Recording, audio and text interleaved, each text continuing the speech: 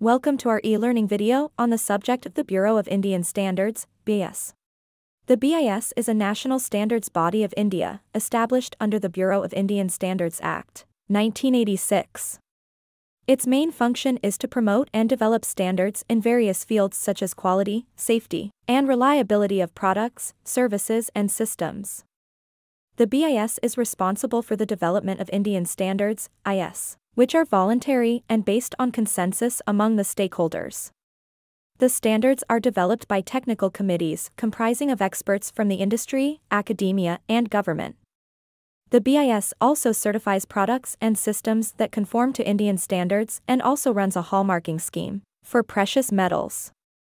The BIS plays a vital role in promoting standardization and quality in various fields and industries in India.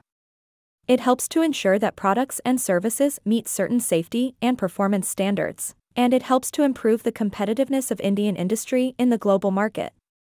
It's important to note that the Bureau of Indian Standards, BIS, is a national standards body of India, established under the Bureau of Indian Standards Act, 1986.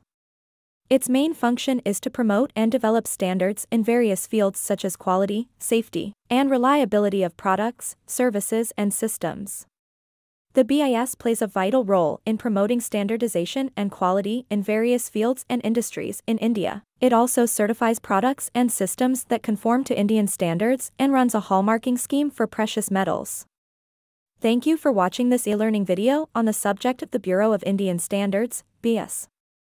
Understanding the history, goals, and significance of the BIS is important in understanding the role of standardization and quality in the Indian industry, and the role of the BIS in promoting and developing standards in various fields.